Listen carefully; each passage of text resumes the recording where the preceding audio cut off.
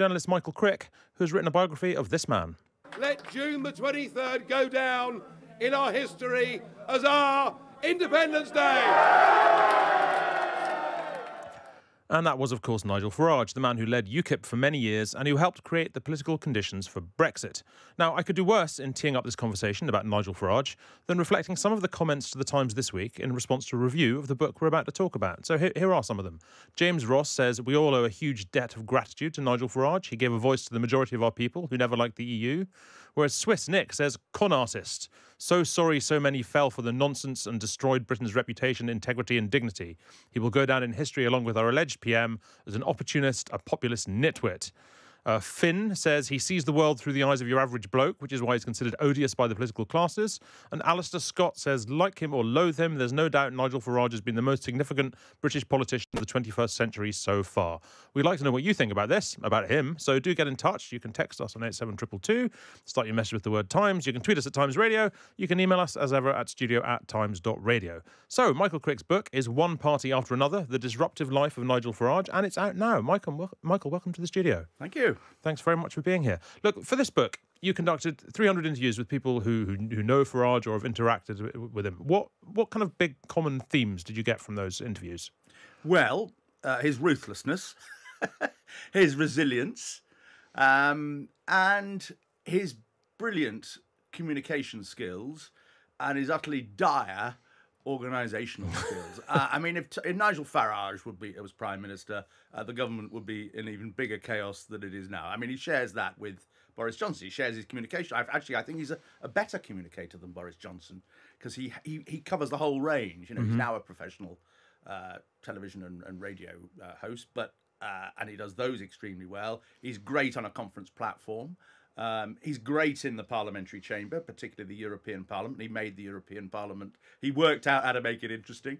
But above all, and this is where I think he exceeds with uh, Boris Johnson, he's great communicating with the ordinary man in the street. He loves doing that. Mm. He loves listening to what they have to say. He loves interacting. He loves arguing with them. Uh, whereas Boris Johnson, I've always thought is a bit uncomfortable about doing. He loves the adulation, does Boris, uh, and uh, Nigel Farage loves the adulation too. But he really does get on with ordinary. A lot of politicians hate talking to ordinary voters. It's the last thing they want to do is actually go out and campaign in the is, traditional way. Is there any fracture then between the the sort of public persona of Nigel Farage and the and the the, the personal impression of him people who know him have, or are they pretty similar? No, there are there are differences. I mean, in private, he can he he is he does get down a lot. Uh, you know, he feels things are not going well. He has his black moods, loses his temper a lot. You know, this ebullient uh, character that we see a lot of the time is, is can often be very different in private. That wasn't helped by his uh, plane accident, uh, which caused back problems mm. and, and still does for, for many and a lot of pain uh, during the, the teen years when he, he often could get really unpleasant with, with colleagues and uh, uh, and bad tempered and and uh, you know we didn't really see that in public. Um, and of course the great the other great thing about Farage, indeed a lot of people, is he's a man of great contradictions. I mean, here's a man, you know, who loves uh, annoying the establishment, and yet he's desperate to belong to the establishment. Desperate to, yes. you know, he loves going to old boys events at Dulwich College. He probably attends more of them than any other is old that, boy. Is that is that um? I mean, what is that? Is that resentment? Is it resentment that he's not more in the establishment that makes him? There is a lot of resentment there. Certainly now, you know, he resented the fact that the the the, the, the May government uh, and, and the Foreign Office didn't consult him about what you know what he'd learned talking to Trump a few days mm-hmm. after Trump's victory when he made that famous visit to Trump Tower. Uh, you know, he resents the fact that they've never they've never offered him a, a knighthood or a peerage. Actually, I think it's to his advantage they haven't because it helps preserve that yeah, it would, would, outsider image that uh, you know that they're being persecuted by the would, would, have, would have been a good way to neuter him, wouldn't it? um, in, in his technique, yeah, yeah. In, in his uh, review of, of your book last week, David Aaronovitch in, in the Times, uh, he said that Farage had hitched a ride on a bandwagon that was already in full motion with Brexit, which will of course be Farage's legacy. Do you think that's right? How big was his role in Brexit? I think his role uh, was substantial in Brexit. In fact, I think without Farage, I mean, uh, it wouldn't have happened. Uh, after all, the result was very close, uh, 52-48.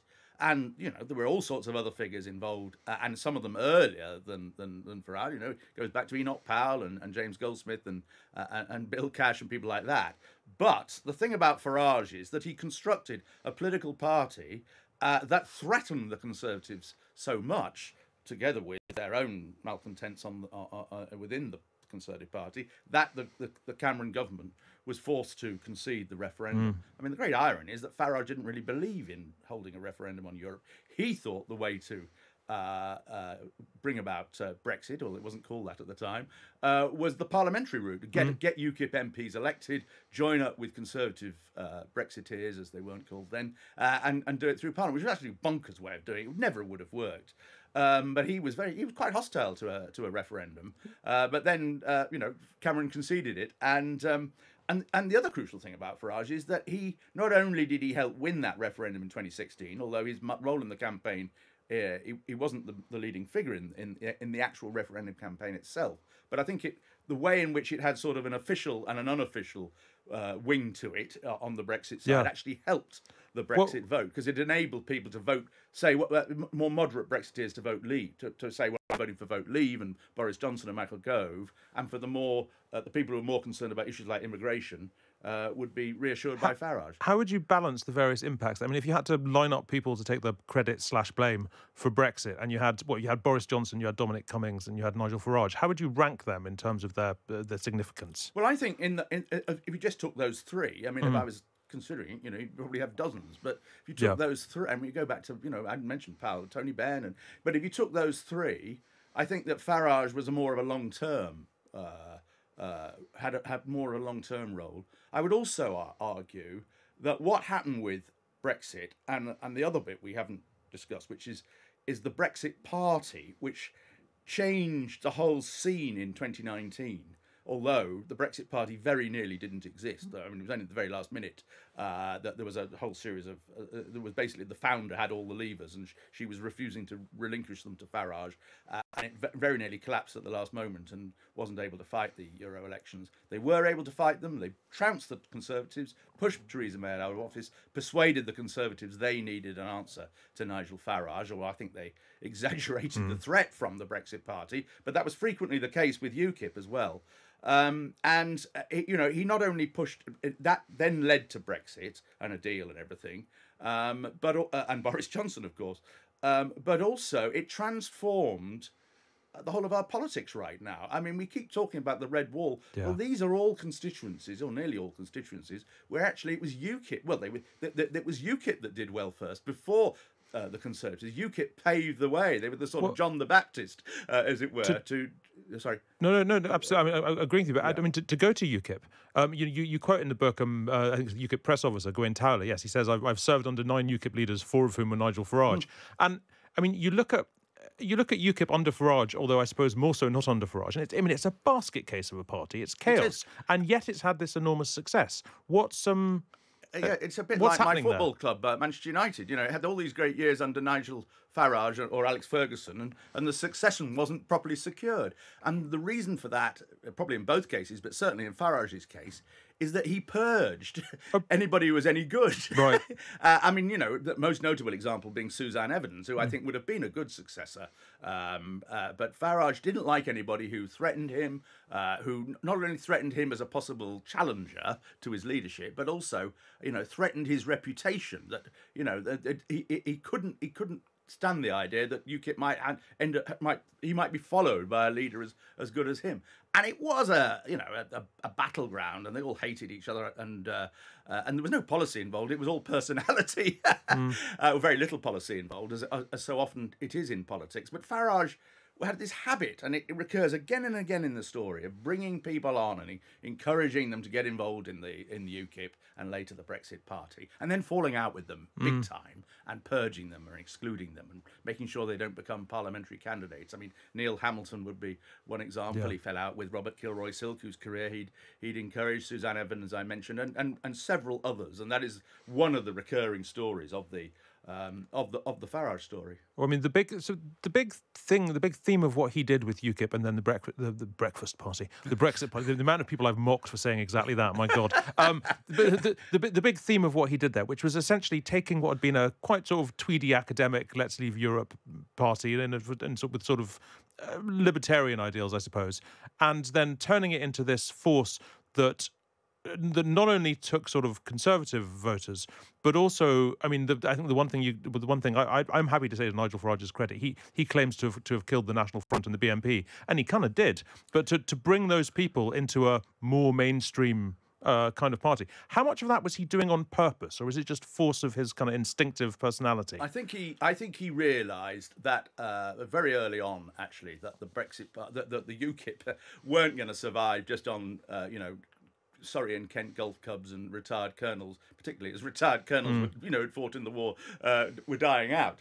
Uh, and that there was this great constituency of disaffected uh, Labour voters uh, all over the place, but predominantly in the in the Midlands and the North, which of course is now the bedrock of was the bedrock of, of the Conservative victory in 2019, and also the issue of immigration, which Farage um, yeah. uh, you know started going big on in the uh, well around about the time of, of Britain failing to or, or deciding not to uh, adopt transition transitional controls uh, by Tony Blair, and then of course there was a huge influx that nobody was really expecting, uh, and there are all sorts of reasons for that. Mm. Um, and that um, uh, played very well for UKIP. But for several years, the BNP under Nick Griffin were actually trouncing uh, UKIP under Farage for about three years. They used to get sort of twice the vote in by-elections, and you know, but the BNP beat UKIP in Henley and mm. and and all sorts, and it really didn't look great. And then one of the great, the wonderful accidents that arrived uh, was the MP's expenses affair of 2009, and suddenly all the people uh, who might have voted for the traditional parties in the Euro elections, uh, Conservative, Labour, Lib Dem, or might have voted for the BNP, they all, they all, a, a whole load of people deserted the traditional parties in disgust of mm-hmm. the MP's expenses scandal and uh, rescued uh, yeah. UKIP in the Euro elections, rescued Nigel Farage. Um, and uh, uh after that, actually, he was ahead of the BNP, and the BNP fell apart. And of course, he's a more charismatic and, and, and much better uh, leader and communicator than than, mm. than Nick Griffin.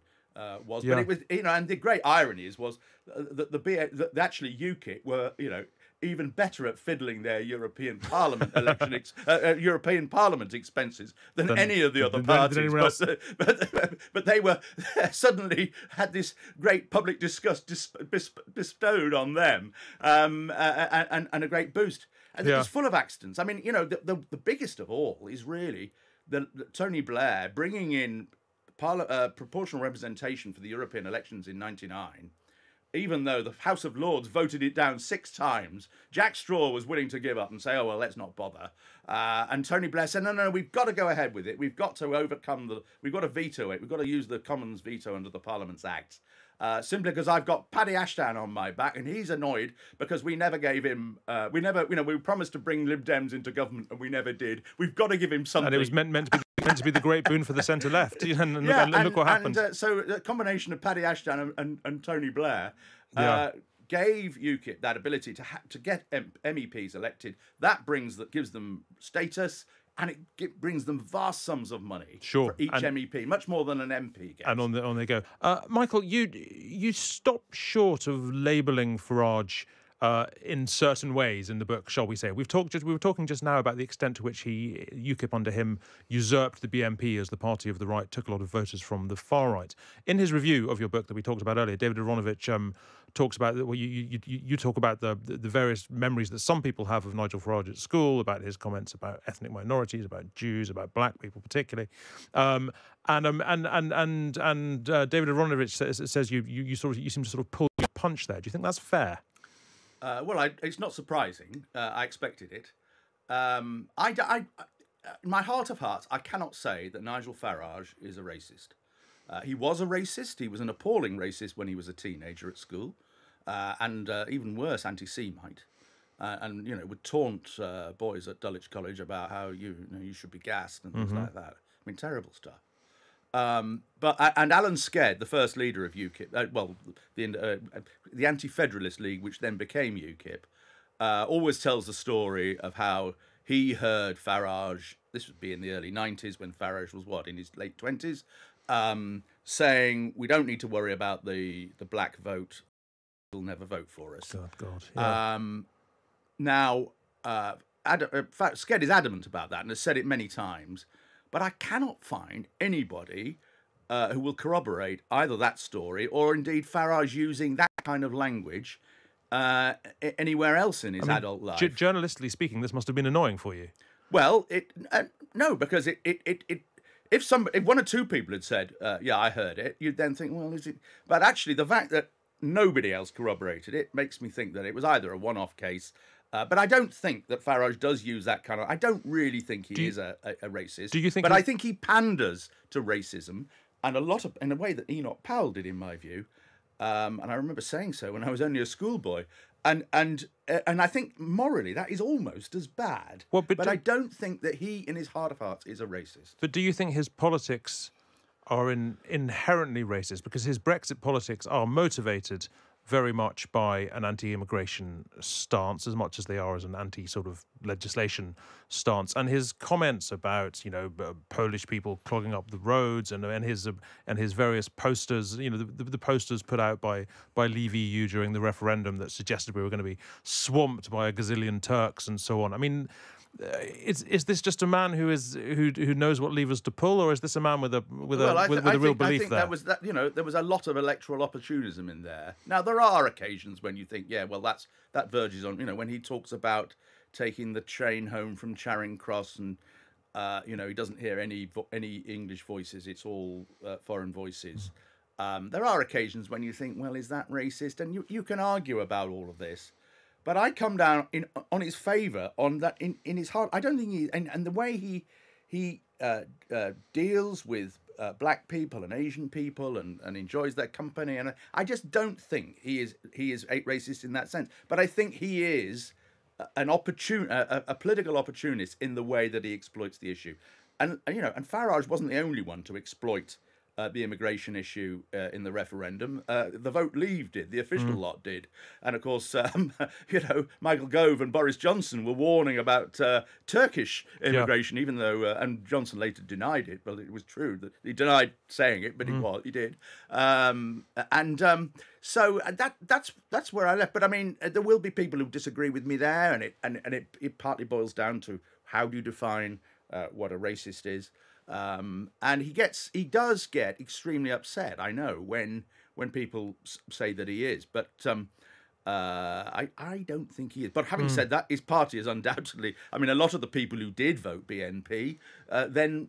Well, switched switched and to and there's something- but, and but they switched to other parties. You know, quite a few of them switched to Labour and and, and, and to the Conservatives too. You can't some- you can't sort of say go away. Yeah. Um, The- the- and, um, and and and at the end of the day, uh, uh, I think uh, the other the other point to make is that Farage reflected the fact there was uh, there were extreme concerns amongst the British public about immigration, and that the traditional parties were not addressing those and were didn't want it debated. Is- is- and, and I think that you know, to be fair to Farage.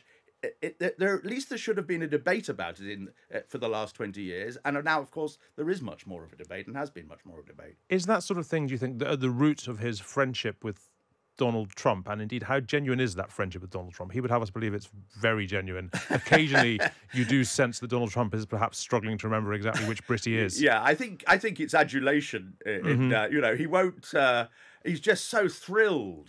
I mean, this is the the Farage who wants to join the establishment in Mm-hmm. a way. You know, he's so thrilled to be there with the uh, American president. And during the Trump presidency, he had quite a lot of meetings. You know, he'd be meeting him two or three times a year Mm. uh, over in uh, uh, in in Washington, occasionally And, here. and yet well, the job Trump- never turned up.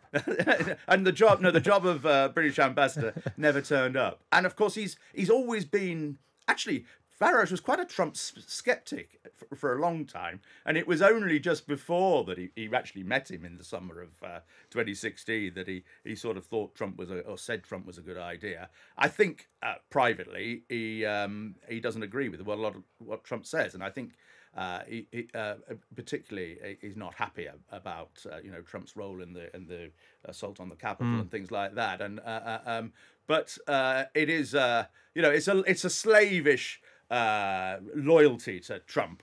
Um, and and Trump spot Trump's people spotted Farage quite early on because they noticed his speeches in the European Parliament and Farage's ability, when given only 90 seconds, to actually craft the sound Absolutely bites. get the YouTube clip. Yeah, Yeah, exactly. And to and to shove it all on YouTube and make his name on YouTube. Yeah. And um, but there was a period of about four years, from about 2015 to 2018, when Farage adopted a much more aggressive politics uh, and and teamed up with people in America who. You know, who's where, uh, uh, who where, where it becomes much more questionable about whether they're racists and anti-Semites, and people like and, and also people like Steve Bannon, Mm-hmm. um, and you know they started trying to forge this international That kind of alt-right uh, link up. coalition of uh, nationalists involving Sisi and Bolsonaro and Duterte in the Philippines, uh, and some pretty young oh and Victor Orban, some pretty uh, some of them some pretty unsavory Hmm. characters, and he was much more also much more um, uh, willing to. Uh, it- I mean, one of the things he did at regular intervals, he had to team up in the European Parliament with uh, some pretty unsavoury characters Yeah. there, uh, and his tolerance of some of these unsavoury characters is- got worse during that period. And then he moderated again in forming the um, the Brexit Party. Um, and the the interesting question is, well, was that again was that opportunism, or was he had had he really gone through a phase of being um, of having a much harder, Yeah. a very masculine Which is- politics?